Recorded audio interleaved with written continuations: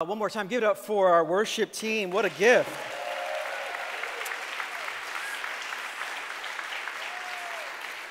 That was good. I. I mean, my shoulders start moving. And, uh, wonderful, wonderful. Uh, welcome, everyone. Uh, what a joy to worship with you all, to sing with you all, to to worship the name of Jesus and lift His name up here.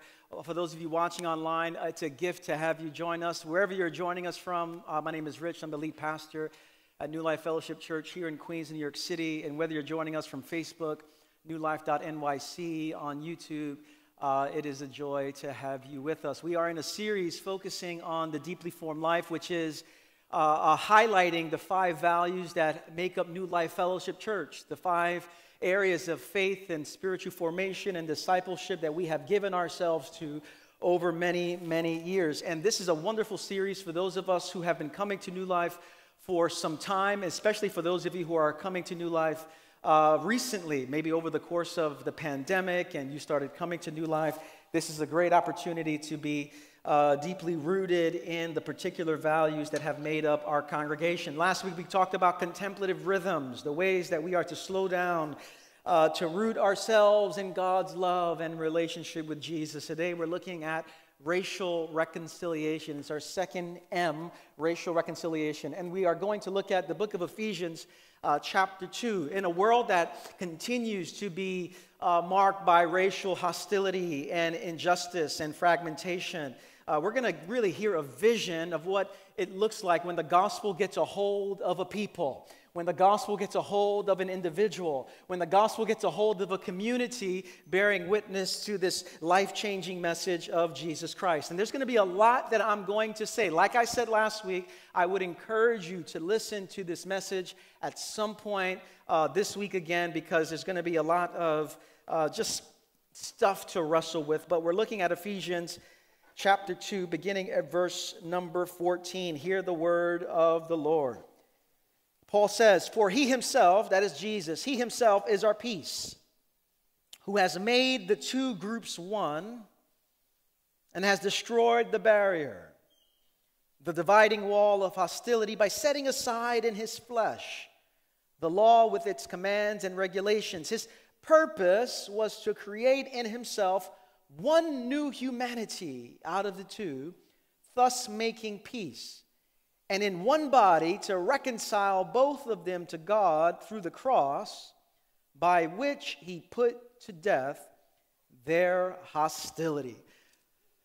Lord, open our eyes, open our ears, open our hearts, that we would receive every gift you have for us this day. We pray these things in Christ's name. And everyone said, Amen. I want to begin our time by focusing on the gospel. Focusing on the gospel. The way we understand the gospel will determine the degree to which we give ourselves to racial reconciliation. The degree to which we understand the gospel is the degree to which we will give ourselves to racial reconciliation. And so, if the gospel exclusively is the message that you're going to heaven when you die, one can easily conclude that race, racism, and reconciliation could be an afterthought. If the gospel is about the forgiveness of sins, particularly personal forgiveness of sins, and if that's how we exclusively look at the gospel, it becomes permissible to ignore things like race, racism, and reconciliation. But what if, brothers and sisters, the gospel was something more? Something that, yes, embraces the truth of eternal life as found in Jesus Christ. The truth that, yes, we received the forgiveness of sins because of his love. But what if the gospel has something to do not just with the life to come, but with our life right now?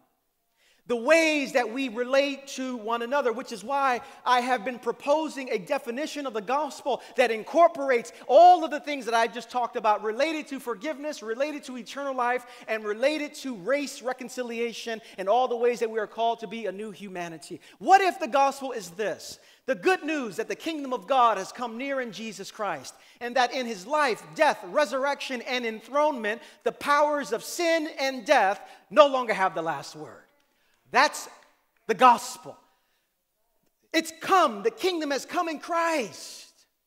His life, death, resurrection, and enthronement, that is his ascension. Because of all these things, the powers of sin and death no longer have the last word. And if that's our definition of the gospel, what the gospel can begin to do is this beautiful uh, reality, forming this beautiful reality that a new family made up of vastly different people can become possible in Jesus Christ. This is the gospel. And so, this is what revolutionized the world 2,000 years ago when the Apostle Paul wrote these words in the book of Ephesians. And he's trying to help the church understand what has happened in Jesus Christ. Now, Paul begins by, uh, chapter 2, by talking about the ways that Christ has rescued us. And so uh, in verse 1, he says, As for you, you were dead in your transgressions and sins, in which you used to live when you followed the ways of the world and the ruler of the kingdom of the air, the spirit who is now at work in those who are disobedient.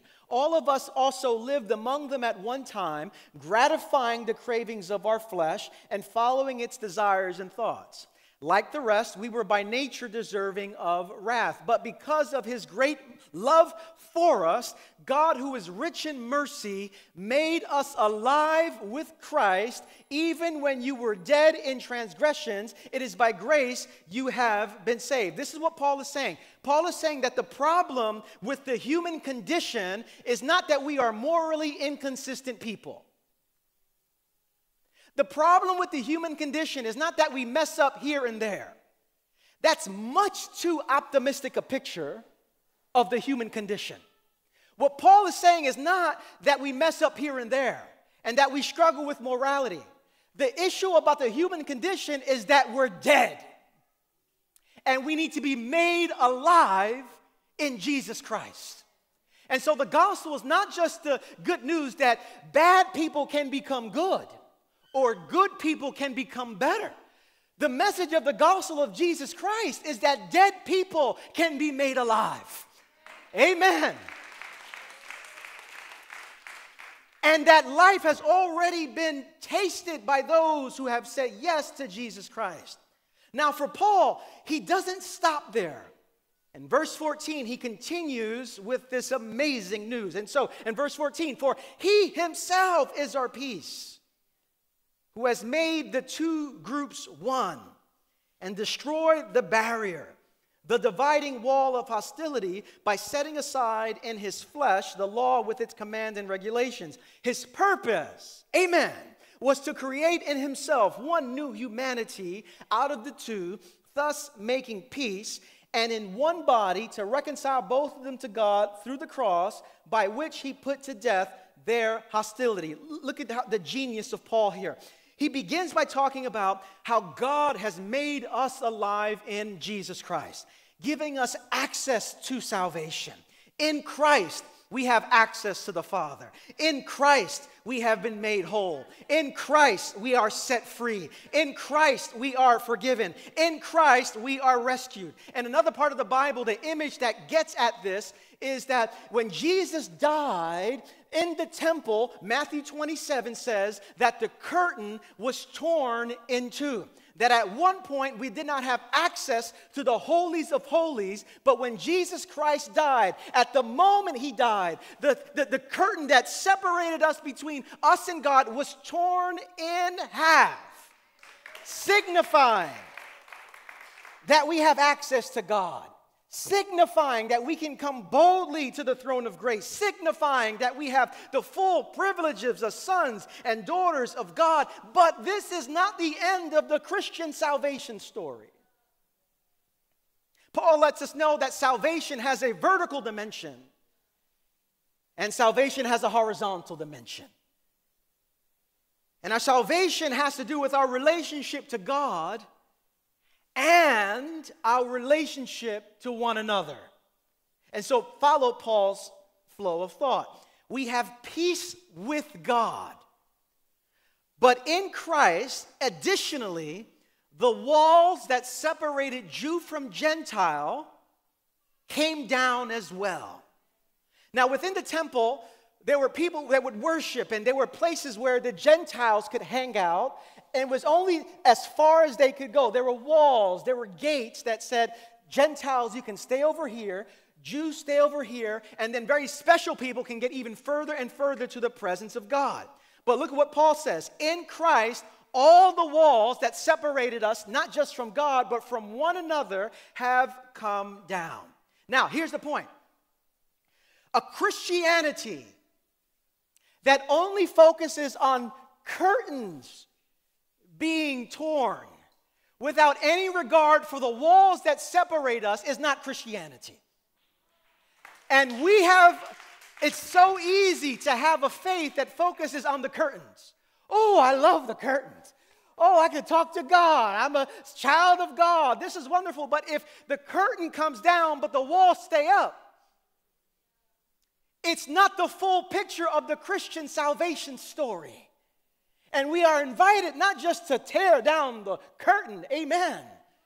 We are invited as well to tear down the walls as well, which is why the cross of Jesus Christ is not just a bridge that gets us to God, it's a sledgehammer that tears down walls that separate us.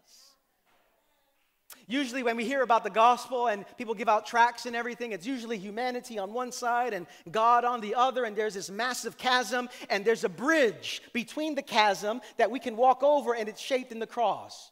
And it's a nice image, but it's an incomplete image of the Christian story. Because the cross is not just a bridge, the cross is a sledgehammer that tears down walls that separate us. You see, God is not interested simply in saving individuals.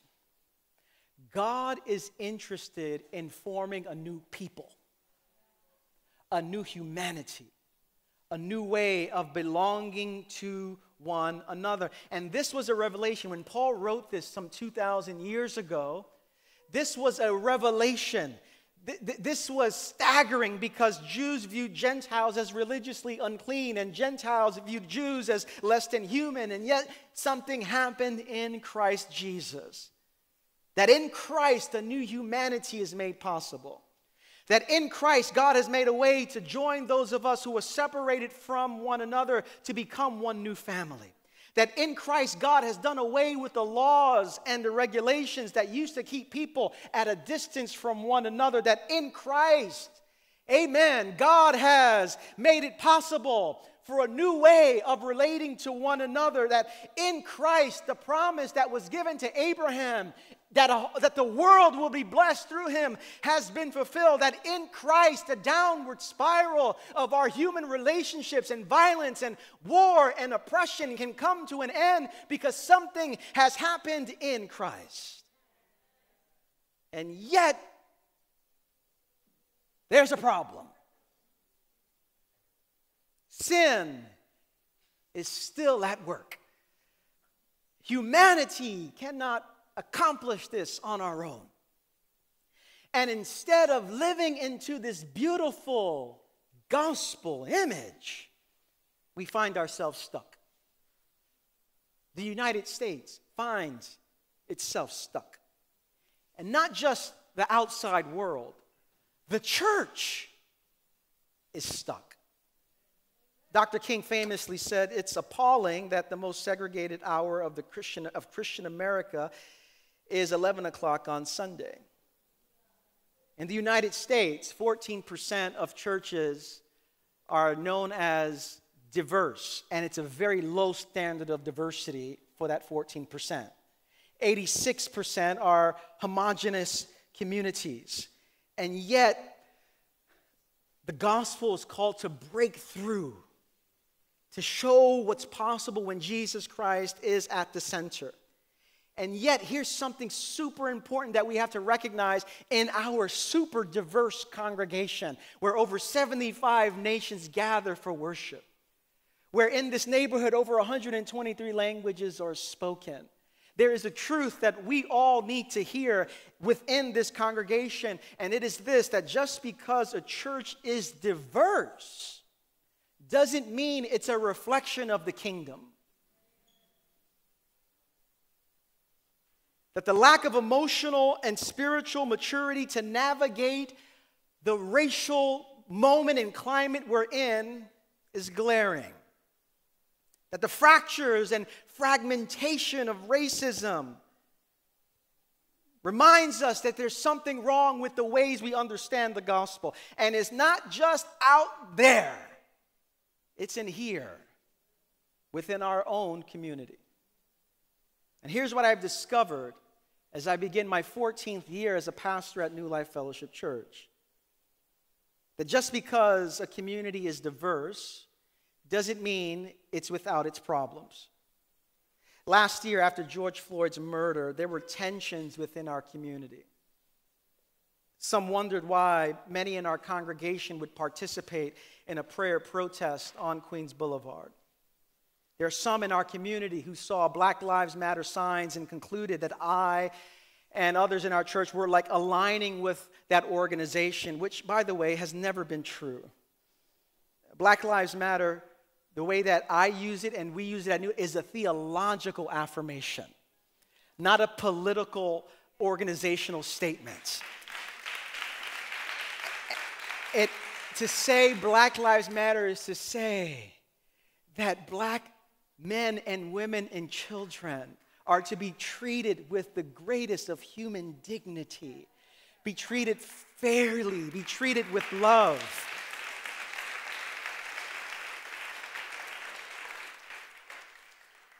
It's a theological statement. And so this message is not for some monocultural church in Georgia. This message is for our diverse church in Queens. What does it mean to be committed to racial reconciliation? What are the signs that we are living a gospel of reconciliation? What does it mean that the walls are coming down in our own community?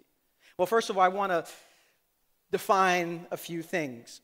First of all, reconciliation. The word reconciliation is a beautiful theological word, but it's often been seen culturally as something much less than it is biblically.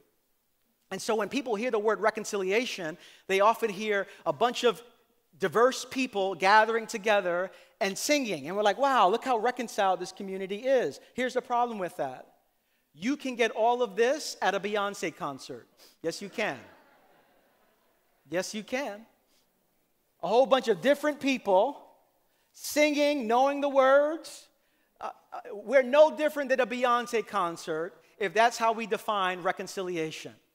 But reconciliation is more than just a group of diverse people singing next to one another.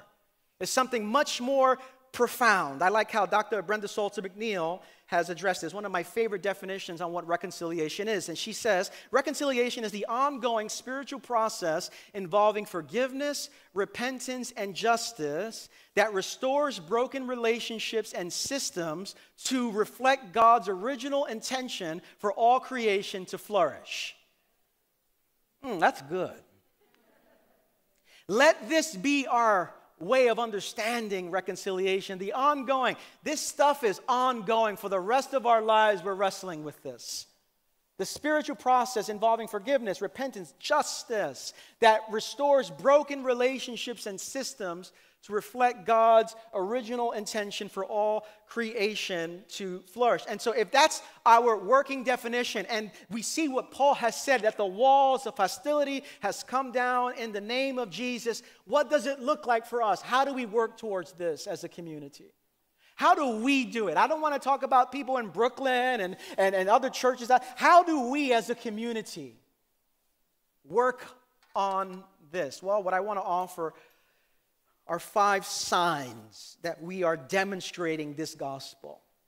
Five signs that we are taking this value seriously. Five signs that we are doing the work individually and the work as a community together. Five signs that walls are coming down in the name of Jesus. Here's the first one.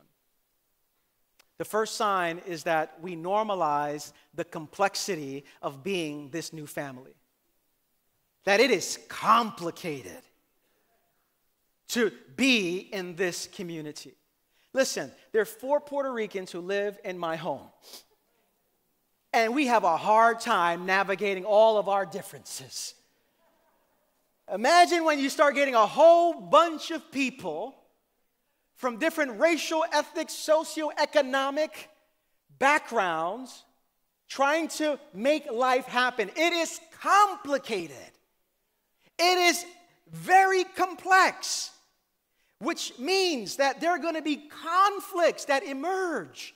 And whenever conflicts emerge within our community and disagreements emerge within our community, we have two options.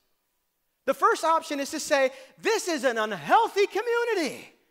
Wow, look at the disagreements, look at the tensions. Or you can say, This is a human community. Wow.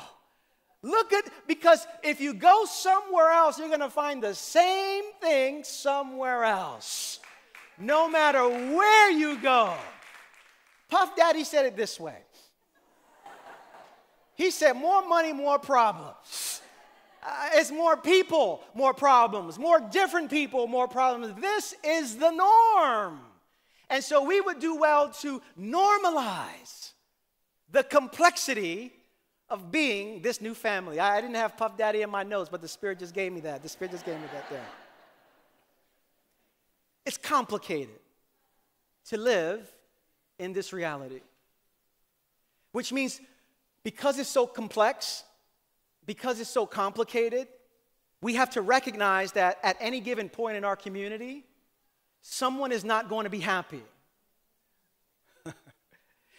A couple of years ago, I, for our Christmas Eve service, we typically read various passages of the Christmas story in various languages. And I never forget one uh, Christmas Eve service where someone came up to me and asked me a question. It wasn't mean spirited, it was, uh, you know, just like, Pastor Rich, when is my language going to be read for the Christmas Eve service?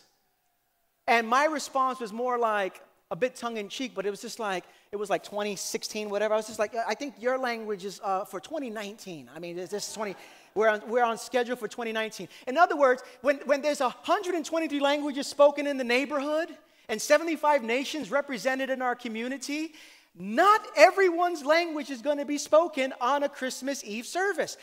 That'll be a six hour service. Santa came, Santa left. We're still reading the scriptures. The kids are upset. I'm tired. Uh, 2019, that's when we're reading your passage. And so it's complicated. The complexity of it all, which means we are to be so humble and teachable because of the complexity of this. We are to be curious and attentive, knowing that we all have blind spots and we need one another to help us navigate the complexity of being a diverse community. One of my own areas of continual growth is how I have understood the Asian and Asian American community in my, my past 13 years at New Life. Growing up in Brooklyn in my Puerto Rican family, and I think this is probably true for maybe about 70% of Puerto Ricans, and I'm probably being generous with that number, that Puerto Ricans often view Asians as a, one group of people. Everyone's Chinese for Puerto Ricans. And it's probably 90% of Puerto Ricans who think this. And so when I came to New Life, one of my ongoing areas of understanding nuance and understanding complexity and understanding how challenging it is to be in a community was I needed help. I remember preaching a sermon, it was either 2011 or 2012. And I got up here and very just proudly said, You know what? I've been coming to this church for three years and I'm learning so much about Asians. I'm learning so much about Asians. And Pastor Pete, who was here for the first service. It was so good to see the Italian stallion at the first service there. Eh, he, he, he, he came up to me after the service, as we typically do, and he said, Rich, great sermon, but, but, but listen, that statement about you're learning so much about Asians, uh, you know, you can't lump everyone into a word. It, it's very, it, it's vast. Asia is vast. And so he coached me and he said, The second service, this is, I think, what you should say. We have people from all over Asia people from China and Korea and Indonesia and Singapore and Malaysia and Bhutan and, and, and India and, and, and, all, and, and Pakistan and all over the place. And I'm learning about the complexities and the nuances of Asian culture. I, I don't think I got a standing ovation the second service, but I realized I needed help. And you need help. We all need help. It's complicated. And what we must do is normalize the complexity. Otherwise, we will say, What kind of church is this? And you're going to go to somebody else's church and find the same problem there. That's number one. Number two, to be a community that works for racial reconciliation and this vision of Ephesians 2 requires us to explore our own racial formation. We all have been formed by our families. We all have been formed by our relatives. We all have been formed by the surrounding culture to have internalized messages about people who don't look like us, about people who come from a different place in the world from us. We all have to wrestle with this and grow in our own awareness. To some degree, we all have standards by which we measure what's beautiful and what's not, who's trustworthy and who's not, who's competent and who's not. And so much of this is so racialized that we, it's so second nature to us. That if we're not working hard to identify the ways that we have been shaped by our families, our cultures, the world around us, we will perpetuate the fragmentation and the hostility within our own community. Which is why a couple of years ago I created this very little inventory, a simple inventory to talk about racism and our family of origin. That our families consciously or unconsciously handed down messages to us. And unless we are exploring these messages, we're not going to live this Ephesians 2 vision. And this kind of examination can lead to lots of shame. Because when you actually name the ways that you see different people, it's shameful, it's embarrassing. And yet, part of the work of our own reconciliation is to confess these things. There's an assessment, and, and I want you to listen to this message later on this week or, or, or take a picture of the screen here, but, but there's a, a simple inventory that we would all do well to give ourselves to. How did your family talk about these groups of people? What messages did you get about black people growing up? About white people? About Asian people, East Asian, South Asian, Asian American, etc., Latino, Hispanic people, Native American, Middle Eastern. What are the messages that you've received from your families? You say, oh, my family, we're just a good Christian people. We don't No, what are the messages? When you saw a certain person walking down the street, did a family member say, let's cross the street? When you're looking for a doctor and saw a name that you can't pronounce, did you conclude this person must not know English? We've all been shaped by our surrounding culture and by our families. Additional questions for our own reflection is who are the people you were taught to fear? Who are the people you were taught were beneath you? What assumptions about the groups of people listed do you hold? And if we just did this, brothers and sisters, this week, spend our times navigating our own racial formation, we will begin to live more into this Ephesians 2 vision where the walls of hostility come down. But it requires us to navigate our own racial formation. Here's the third sign. How do we know the walls are coming down in the name of Jesus? How do we, how do we know we're working for this? Thirdly, we lament and resist the racial sins that continue to shape our world today. We lament and resist the racial sins that continue to shape our world today. To be a community that wrestles faithfully with racial reconciliation requires us to lament the ways that racism has damaged our world. And I want to just try to define racism in a way that's much more comprehensive than we typically understand it to be. Was Michael Emerson, a Christian sociologist at Baylor University, who, who said that the ways that we typically understand racism is this racism is usually defined as intended individual acts of overt prejudice and discrimination. And so, if we're not doing that, we say, I have no problem with racism. It's intended, meaning I meant to do it. It's individual, has something to do with just me as an individual, and it's overt. It's clear as day. And we say if if I'm not doing any of that, then I don't have a problem with racism. But racism is more than just intended individual acts of overt prejudice and discrimination. There are layers to it. I found a professor at Columbia University, uh, uh, Derald Wing Sue, a professor of psychology and education, who provided, I believe, a, a, much more helpful, expansive view of racism, where he says that racism comprises attitudes, actions, institutional structure, or social policies that subordinate persons or groups because of their color.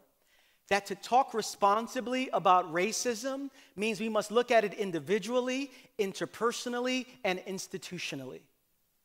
Only then can we really address the demon of racism. Only then can we really push back the power and principality that is racism. Only then, when we're recognizing the multiple layers that are at work, can we begin to bear witness to this gospel of reconciliation. And so, we cannot understand our current reality without taking seriously the sins of the past. In Canada this past week, Canada this past Thursday had its first national day for truth and reconciliation. And the day was announced in June by the government as a day for all Canadians to listen and learn about the country's colonial history and the ongoing trauma caused by residential schools. If you've been following the news, about these unmarked graves all throughout Canada, part of these residential schools. The horror of it all. The ways that indigenous people have been treated for, for God knows how long. We cannot move forward unless we examine where we've been. Here is a new life principle. We have to go back in order to go forward. We cannot understand our racial situation without sincerely examining the effects of Native American genocide, of slavery, of Jim Crow laws, of Japanese internment camps, of the Chinese Exclusion Act, of the ways that these realities have been the foundation, arguably, for anti Asian violence, for police brutality, for redlining, for housing discrimination, and we are to resist all of these things in the name of Jesus.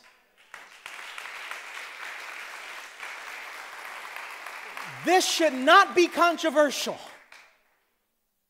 And so it means to be part of this community. I can't speak for other churches, but to be part of this community here it means we join our voices and join our lives to those who are mistreated, those who are overlooked, those who are under resourced.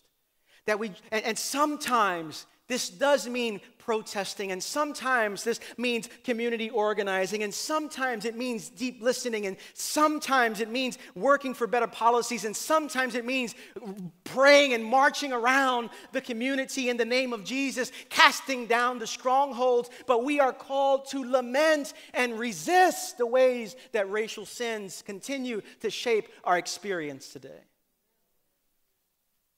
Fourthly,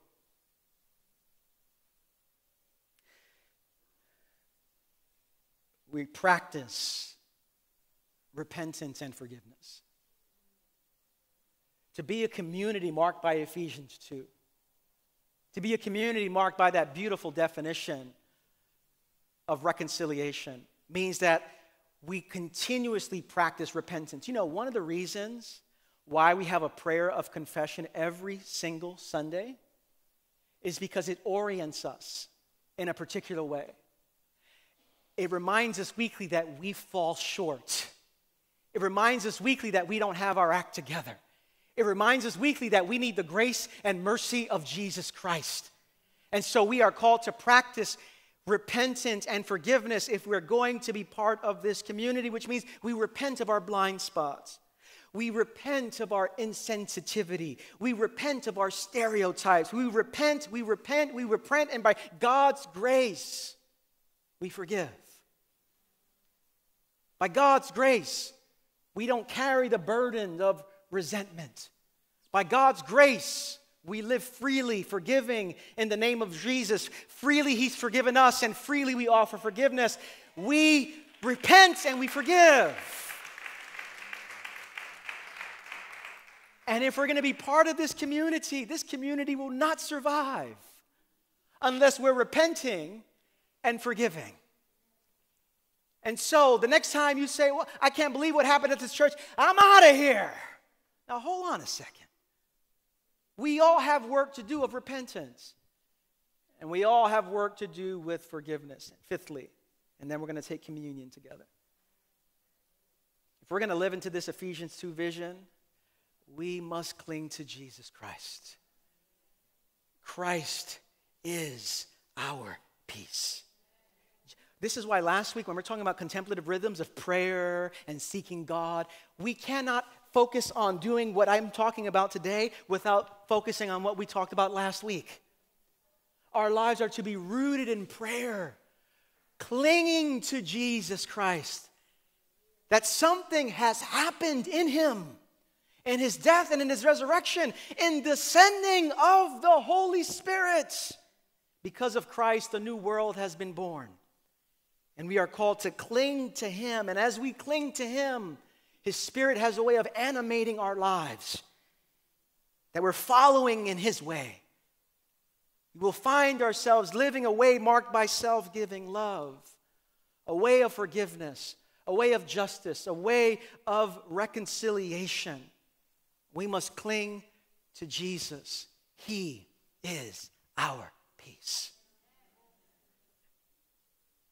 And as we give ourselves to just these five principles, and certainly there's more, may we be the community that Jesus Christ dreamed about when he died for us.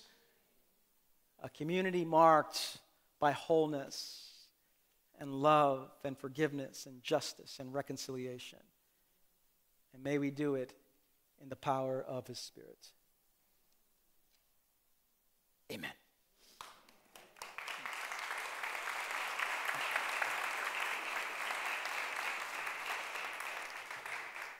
What a wonderful way to come to the table of communion. Before we come to the table, I want to give us a moment for our own confession before God, our own repentance before God.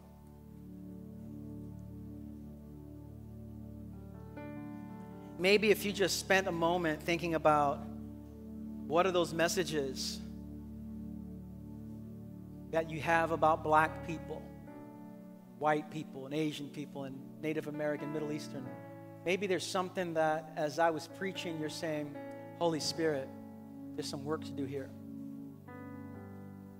Where is the point of repentance that you need to offer before the Lord. I want to give you a few, maybe 30, 40 seconds, maybe just to name it in your soul. And then we'll pray a prayer of confession on the screen.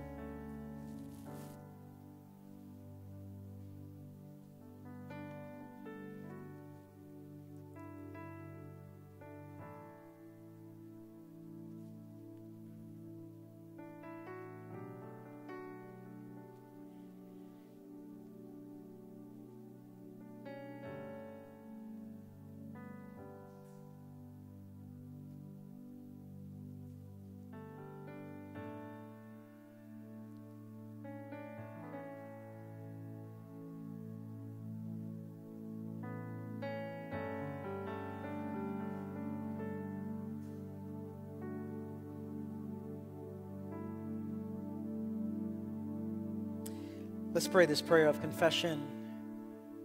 We have it on the screen together. Almighty God, our Heavenly Father, we have sinned against you and our neighbor through our own fault, in thought, in word, and deed, in what we have done, in what we have left undone. For the sake of your Son, our Lord Jesus Christ, forgive us all our offenses and grant that we may serve you in newness of life to the glory of your name. Amen. Let's all stand together.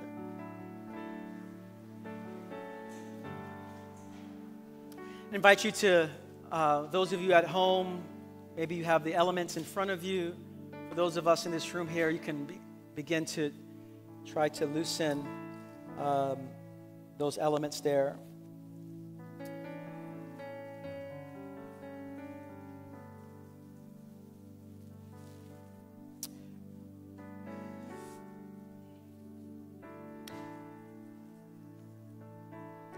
Bible says the Lord Jesus, on the night he was betrayed, took bread. And when he had given thanks, he broke it and said, This is my body, which is for you. I was broken so that you might become whole. Do this in remembrance of me people of God, let's receive the body of Jesus Christ.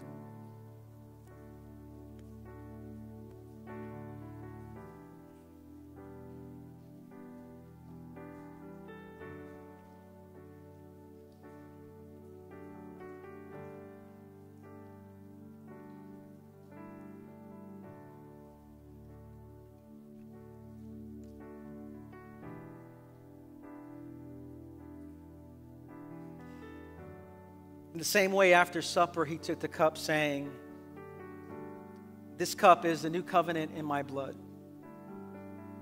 Do this whenever you drink it in remembrance of me. For whenever you eat this bread and drink this cup, you proclaim the Lord's death until he returns. As the people of God, forgiven and reconciled to the poured out blood of Jesus Christ. Let's all receive together.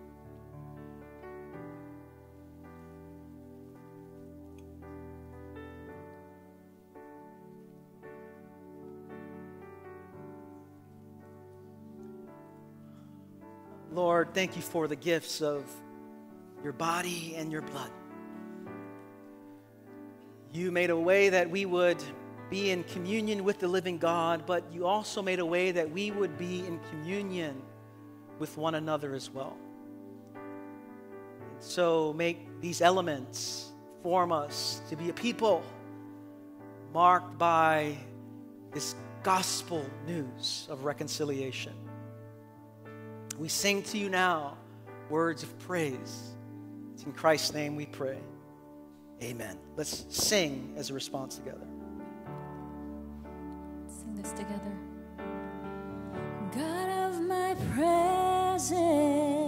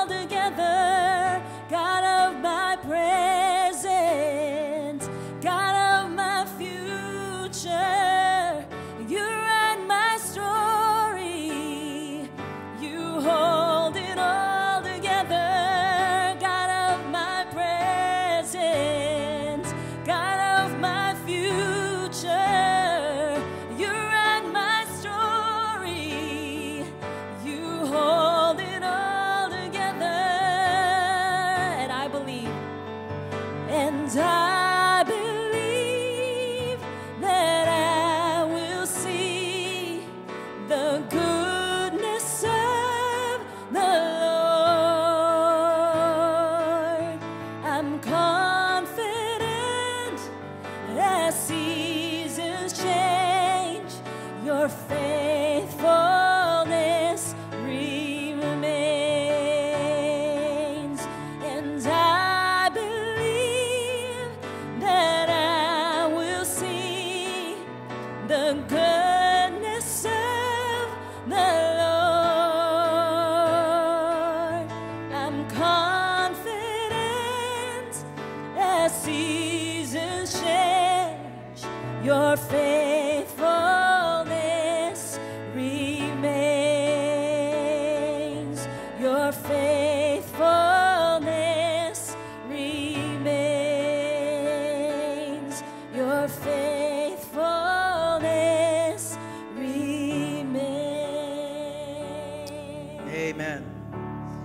Something has happened in Jesus Christ that a new humanity is possible. May we cling to the God of all peace to live into that beautiful truth. As we close our gathering, let's have our prayer team come to my left. Some of you have come into our worship today and you're tired, you're hurting, you're struggling with your faith, some challenges at home. You just need someone to pray for you, pray with you. And so, for whatever need you have, uh, we want to pray for you. We, we spent so much time alone worshiping throughout the course of this pandemic that now that we have an opportunity to gather in person in this way, if you're sensing you just need someone to pray for you, don't pass up this opportunity. What a gift we have to be the body of Christ, one with another. For those of you uh, watching online, uh, as we mentioned last week, we're not going to have a sermon discussion time that will resume in uh, a few weeks. But if you're watching online or maybe you're in this room and there's something coming up in your soul, maybe you hear the voice of God crying out deep in your soul, saying, Come to me. I want to forgive you. I want to pour out my love on you. I want to save you. And if you're at a place where you're like, I need the life of God, I've tried to live without following Jesus and receiving his life, but today something's stirring up inside of me. And if you're sensing that in your soul today, you could come up to our prayer team. We'd love to pray for you. Can also text this phrase, yes to Jesus, 718 424 0122. Again, 718 424 0122. And we want to serve you as you take your next step and what it means to live in this world and follow Christ. As we close our service, let me invite you to open your hands towards heaven to receive a blessing. Uh, for those of you who are new here, I'll be outside in on the lobby. Some of our in the porch area, some of our pastors will be there as well, and uh, we'd love to connect with you. Those of you online, thank you for worshiping with us and singing with us and putting comments in the chat section and connecting there. It's so wonderful to have you part of our worship gathering as well. As we close, let me bless you with these words. Brothers and sisters, sons and daughters of the living God, may the Lord bless you and keep you. Make his face to shine upon you and fill you with peace. And may you walk out of this building and out of this online gathering in the power of the Holy Spirit, bearing witness to the truth that something has happened in Jesus Christ, that a new humanity is possible. And little by little, may you grow into that new humanity, bear witness to that new humanity, and show the world what is possible when Jesus Christ gets a hold of someone's life. I bless you all in the strong, in the beautiful, in the reconciling name of Jesus Christ.